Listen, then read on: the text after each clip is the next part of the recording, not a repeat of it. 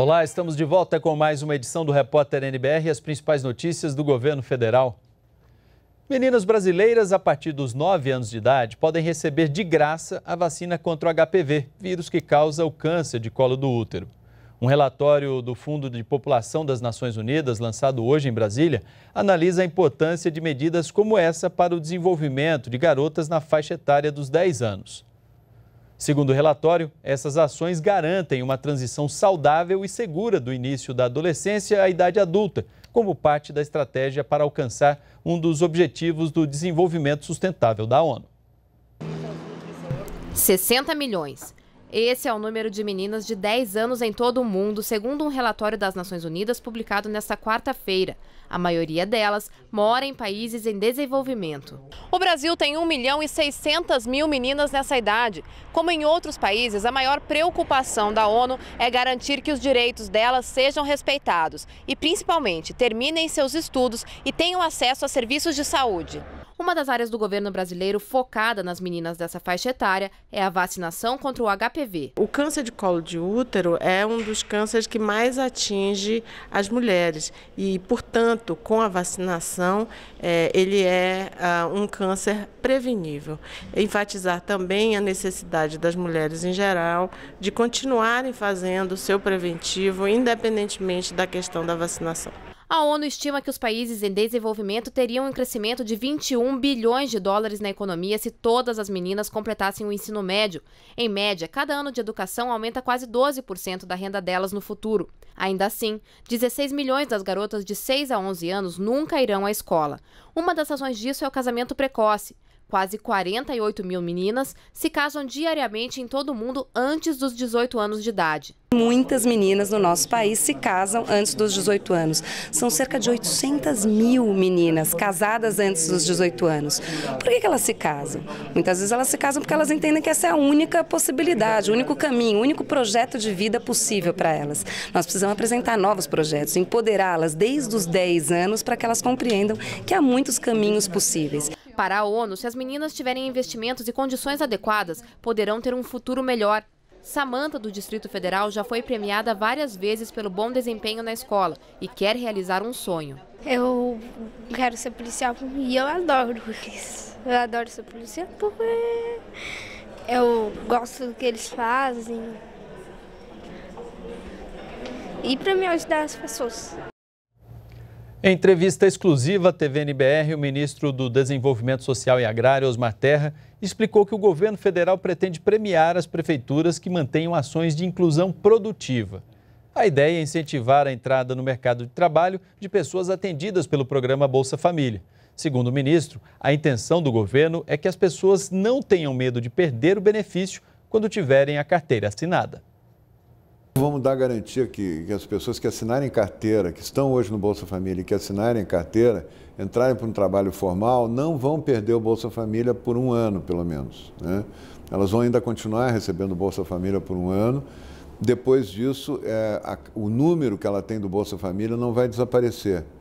É, aquele número, aquele cartão, ele vai ficar hibernando, vamos dizer assim, e se ela perder o emprego, ele volta a ser ativado automaticamente. Então, isso desfaz, vai desfazer o medo que as pessoas têm quando elas têm um pouquinho do Bolsa Família, né?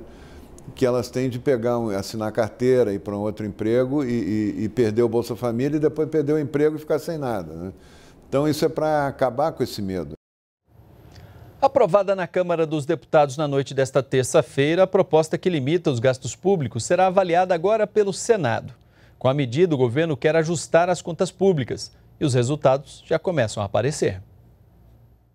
Bolsa em alta, dólar em queda, confiança de empresários e consumidores reagindo. Os índices de confiança começam a melhorar de forma impressionante e isso já se reflete em determinados indicadores. Nós vemos aí, por exemplo, como o real ganha valor, moedas estrangeiras em relação ao real, como o dólar e o euro e outras moedas perdem valor. Um desses indicadores é o risco país. Ele funciona como um termômetro da confiança do mercado na capacidade de uma nação honrar compromissos, ou seja, pagar dívidas.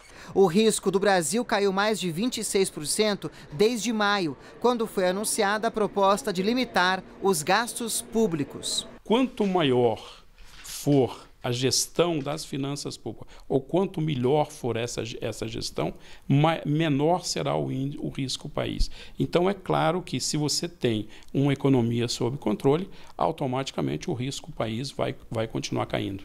Para 2017, todas as áreas do governo federal só poderão aumentar os gastos pela inflação oficial prevista para este ano, que é de 7,2%. Nos anos seguintes, os limites serão corrigidos pela inflação acumulada em 12 meses até junho do ano anterior. Educação e saúde só passarão a seguir a regra a partir de 2018.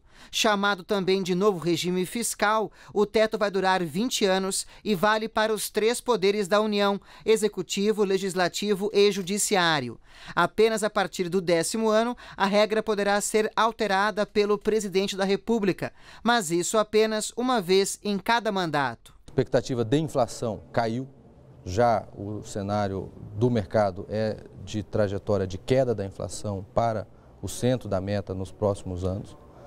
Então, a, a reação do mercado a, a esse evento é muito positiva e muito importante, demonstrando que o governo está restabelecendo a confiança e a credibilidade na política econômica brasileira. A proposta já foi aprovada pela Câmara dos Deputados e agora será analisada aqui pelo Senado. Primeiro pela Comissão de Constituição e Justiça e depois pelo plenário, onde também terá de passar por dois turnos de votação. Para ver se o Senado, ainda segundo a vontade do presidente Renan, consiga concluir antes do recesso. No Senado, o relator da PEC de limite de gastos públicos será o senador Eunício Oliveira, líder do PMDB na casa. Foi firmada hoje uma parceria para simplificar os serviços do agronegócio. A ideia é reduzir a burocracia para tornar o setor mais competitivo frente aos mercados internacionais. A medida é semelhante ao Plano Agro Mais, lançado em agosto deste ano pelo governo federal. O acordo foi firmado entre o Ministério da Agricultura, a Frente Parlamentar da Desburocratização da Câmara dos Deputados e o Conselho de Secretários Estaduais de Agricultura. Nós ficamos por aqui. Voltamos a qualquer momento com outras informações ou às 8 da noite na próxima edição do Repórter NBR. Acompanhe as novidades também pelas nossas redes sociais. Continue com a gente, NBR, a TV do Governo Federal.